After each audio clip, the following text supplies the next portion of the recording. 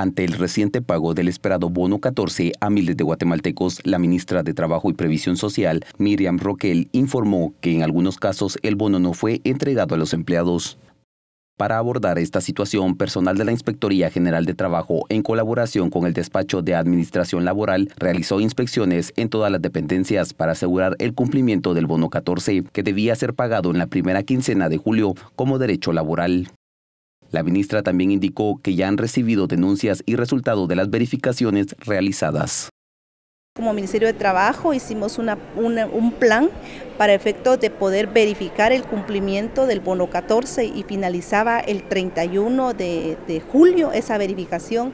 Sin embargo, eh, actualmente hemos recibido más de 250 mm, denuncias en las que varios empleadores no, no han cumplido y efectivamente con esas denuncias lo que hace la inspección es hacer las verificaciones y posteriormente si incumplen se, aplican las sanciones. Derivado de las denuncias se verifican y posteriormente hay un plazo, como hay un debido proceso también que nosotros como Ministerio de Trabajo debemos observar.